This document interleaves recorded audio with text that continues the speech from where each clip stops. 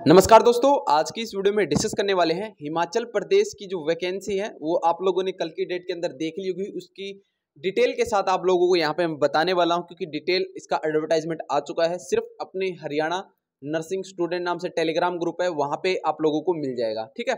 इस वीडियो के डिस्क्रिप्शन के अंदर लिंक भी दिया हुआ व्हाट्सअप ग्रुप और टेलीग्राम ग्रुप उससे इनसे आप लोग जुड़ भी सकते हो, जिसमें मैं रेगुलर अपडेट डालता रहता हूँ। थोड़ा सा मैं आप लोगों को बता देता हूँ। Community health officer staff nurse, female health worker और लेबोरेटरी टेक्नीशियन की वैकेंसी है। ठीक है, जिसकी लास्ट डेट क्या रहेगी? दो अक्टूबर है। उससे पहले पहले आप लोगों को इनके जो फॉर्म है, वो अप्लाई कर लेने हैं। हालाँकि मैंने कई बार इसके रिकॉर्डिंग है, जो कि न्यूज़ डालता रहता था मैं, ठीक है? जैसे ही कल इसकी वैकेंसी की इन्फॉर्मेशन आई, आप लोगों के साथ शेयर की है, और अभी पीडीएफ भी मैंने ग्रुप के अंदर डाल भी दी थी ऑलरेडी तो अब काफ़ी मैसेज इसके रिकॉर्डिंग आ रहे थे। आप लोगों के जो डाउट हैं, वो यहाँ पे मैं क्लियर करूँगा। क्या है? आप लोग देख सकते हो कम्युनिटी हेल्थ ऑफिसर की 723 वैकेंसी है। पे स्केल वगैरह तो सभी को पता है सी को क्या, कैसे क्या कुछ मिलता है, ठीक है? काम कितना क्या कुछ होता है, कोई ज़्यादा इश्यू नहीं है इस चीज़ का।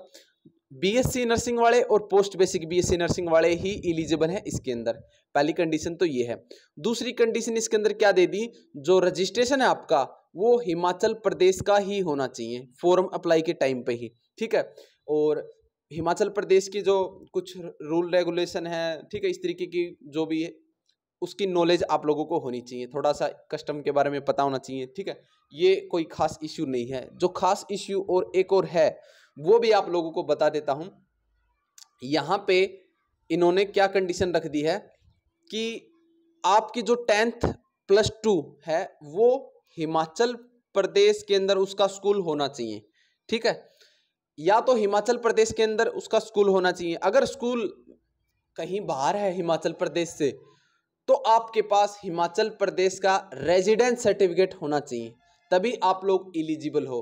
मतलब यही है कि जो सिर्फ़ हिमाचल प्रदेश की कैंडिडेट हैं, वही इन वैकेंसी के लिए एलिजिबल हैं। बाहर के कैंडिडेट हैं, वो इसका अप्लाई किसी भी एंगल से नहीं कर सकते। ठीक है? अगली वैकेंसी स्टाफ नर्स की है। ठीक है? एक सौ उनसठ वैकेंसी है, प्लस टू जीएनएम वाले जो है इसके अंदर जी एन डिप्लोमा जिसने कर रखा है, वो एलिजिबल है। बीएससी नर्सिंग भी एलिजिबल है। हिमाचल प्रदेश का रजिस्ट्रेशन है, नर्सिंग का वो होना चाहिए, ठीक है, वही कंडीशन है। प्लस टू, आप लोगों की हिमाचल प्रदेश के किसी स्कूल से होनी चाहिए, ठीक है?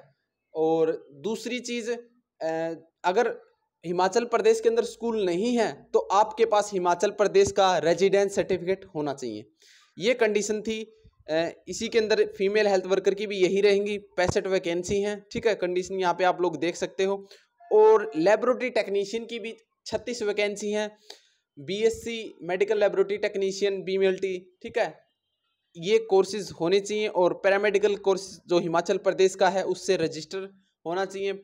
वही सेम कंडीशन प्लस टू आप लोगों की हिमाचल प्रदेश की किसी स्कूल से होनी चाहिए और या फिर आप लोगों के पास हिमाचल प्रदेश का डोमेसल हो, अगर आप लोगों का स्कूल हिमाचल प्रदेश के अंदर नहीं है, ठीक है? तो ये कंडीशन थी, अब फॉर्म अप्लाई यहाँ से आप लोग कर सकते हो। बाकी क्या कुछ डिटेल के साथ आप लोग ये पीडीएफ अपने हरियाणा नर्सिंग स्टूडेंट के अंदर ग्रुप के अंदर डाल रखी है। व्हाट्सअप और टेलीग्राम ग्रुप ग्रुप को आप लोग ज्वाइन भी कर सकते हो। फ़ीस मात्र पाँच सौ रुपये दो सौ रुपये यहाँ पे कंडीशन के अकॉर्डिंग दे रखी है, आप लोग देख सकते हो। और कोई क्वेरी होती है तो इस नंबर पर आप कॉन्टैक्ट कर सकते हो। ठीक है? अभी के लिए इतना ही। धन्यवाद।